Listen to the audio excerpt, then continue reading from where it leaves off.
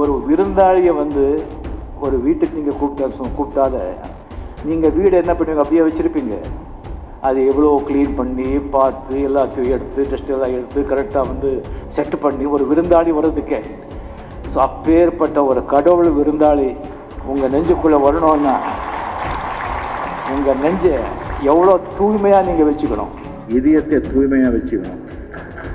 அவ்வளோதான்